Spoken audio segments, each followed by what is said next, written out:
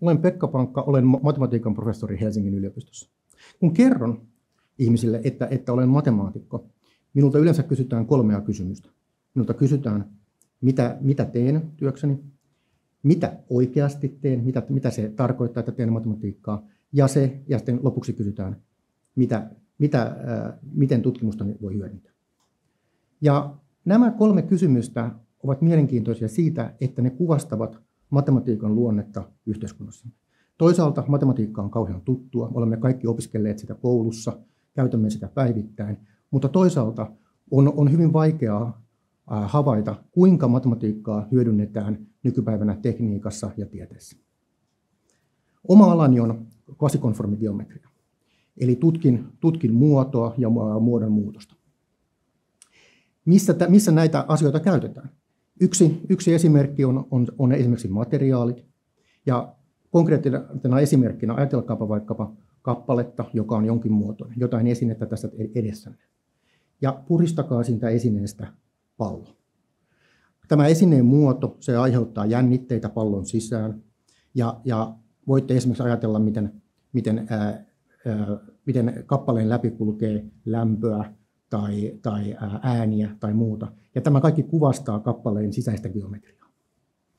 Nyt voitte ajatella myöskin, että entäs jos hieman muutettaisiin kappaleen sisäistä rakennetta ja vapautettaisiin pallo, niin minkälaisen muodon se, se saisi. Toisaalta ajatelkaapa tilannetta, jossa katsotte jotain isoa verkkoa. Ajatelkaa vaikkapa maapallon ympäri kulkevia lentoreittejä tai internettiä tai Facebookin kaveri, kaveriyhteyksiä. Ja saatte valtavan verkon erilaisista, erilaisista yhteyksistä. Tämä verkko, kun lähdette kuvaamaan sitä järke- ja haluatte sitä kuvata, niin voit ajatella, että puristatte sen verkon tähän eteenne johonkin pienen kuutioon esimerkiksi. Nyt tässä kuutiossa on myös, näissä, tässä ver- kuutiossa olevassa verkossa on myös sisäinen geometria. Voit ajatella, miten tieto liikkuu verkossa, miten, miten yhteydet toimivat ja miten, miten saavutetaan eri osia verkosta. Ja tämä on samantyyppinen ongelma kuin mikä liittyy materiaan. Geometria molemmissa kysymyksissä on samankaltaista. Verkkoon liittyy vielä toinenkin geometrinen kysymys. Se, että meillä on tämmöinen abstrakti tietoverkko tai muu, muu yhteyksiä kuvaava, kuvaava verkosto, se, että me haluamme kuvata sen järkevällä tavalla geometrisesti edessämme, vaatii sen, että tämä abstrakti verkko jotenkin realisoidaan kolmiulotteisessa avaruudessa. Tulos, joka tähän liittyy, on, on Patricia Assuadin 80-luvulla todistama tulos, mikä sanoo, että tällaiset verkot voidaan aina realisoida euklidisessa avaruudessa siten, että niiden geometria heijastuu siihen realisaatioon. Ja tämäkin on samaa, samaa skaala riippumatonta karkeaa geometriaa kuin mikä esiintyy, esiintyi materiaaleissa ja siinä verkon, verkon sisäisessä geometriassa.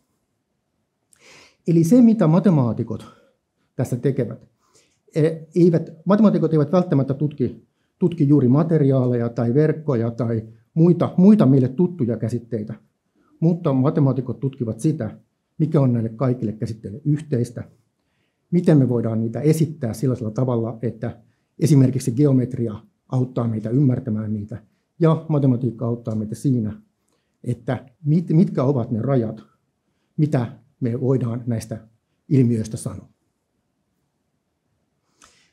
No, mitä sitten ihan oikeasti teen? Tässä äsken kuvailin esimerkkejä, että mihin alani liittyy. Mutta mitä ihan oikeasti teen? Yksi viime aikoina tutkimani asia, josta kirjoitimme viime keväänä tutkimusartikkelin, liittyy jo, vuonna, jo, jo 1850-luvulla Liuvillen tutkimaan kysymykseen. Liuville tutki kysymystä, että voiko kappale muuttaa muotoaan vääntymättä. Ja tämä tarkoittaa sitä, että voiko samalla kappaleella olla olennaisesti useita eri muotoja. Liuvillen vastaus on, on että ei.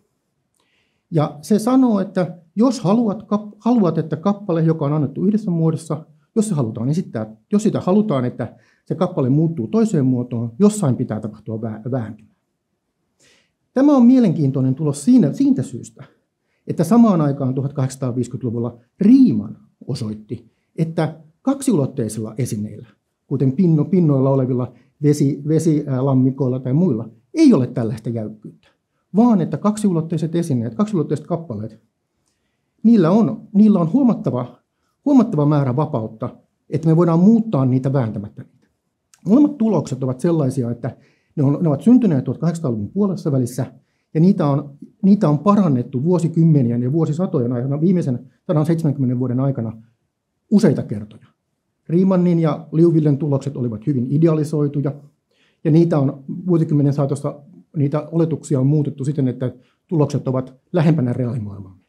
Viimeisimmät tulokset Liuvillen lauseesta ovat 1990-luvulta ja 2000-luvun alusta. Mitä meidän ryhmässämme sitten tehtiin? Näissä tuloksissa, kun katsotaan Riemannin tuloksia, katsotaan Liuvillen tuloksia, esimerkiksi Liuvillen tuloksessa kolmiulotteista kappaletta ajatellaan itsenään, ajatellaan kolmiulotteisessa avaruudessa ja kysytään, miten se muuttuu. Mutta entä, jos me haluaisimmekin tutkia pintaa kolmiulotteisessa avaruudessa, eli ajattelisimme kaksiulotteista kappaletta kolmiulotteisessa avaruudessa, tai kolmiulotteista kappaletta neliulotteisessa avaruudessa, tai mahdollisesti korkeammissa, korkeampiulotteisissa avaruuksissa. Kuinka nämä eri vapausasteet vaikuttaisivat näihin tuloksiin? Ja se, mikä on yllättävää, on se, että jos vapausasteita, eli ulottuvuuksia lisätään yhdellä, mitään muutosta ei, ei, ei, ei olennaisesti tapahdu tuloksissa – mutta jos tarkastelemme esimerkiksi kaksiulotteista kappaletta neliulotteisessa avaruudessa, niin klassiset tulokset eivät ole enää voimassa, vaan syntyy sellaisia singulariteetteja, joita ei ole, ei ole aiemmin, aiemmin havaittu. Toisaalta taas, jos katsotaan esimerkiksi kolmiulotteisia kappaleita kuusiulotteisissa avaruuksissa tai yhdeksänulotteisissa avaruuksissa, niin sama jäykkyys kuin mikä tulee siinä klassisessa Liouville'n tuloksessa on vielä voimassa.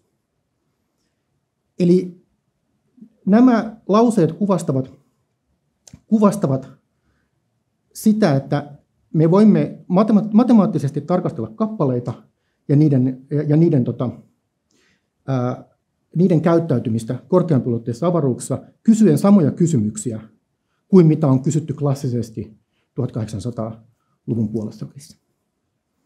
No nyt tulee se kysymys, että miksi? Miksi haluaisimme tehdä tätä? Yksi, minulla on oma, minun syyni on se, että haluaisin ymmärtää, mitä tarkoittavat heikosti konformiset parametrisaatiot kalibroidulle alimonistoille. Ja se on matemaattinen kysymys. Ja tämän jälkeen tulee kysymys, että entä se, että mihin tätä, miten, tätä, miten tämä vaikuttaa meidän arkielämämme, mikä on se, että mihin, mihin, mitä tämä antaa, antaa meille tässä ajassa. Ja tässä huomaamme, että matemaatikon kvartaali on oikeasti 25 vuotta. Tulokset, joita, joita Liuville ja Riemann tekivät 170 vuotta sitten, ovat eläneet oman kaarensa. Ja nyt, mitä me kysymme, on se, että me oikeasti kysymme, että mihin nämä tulokset johtavat meidät seuraavan 150 vuoden aikana. En tiedä vastausta ja sen takia tutkin näitä kysymyksiä. Kiitos.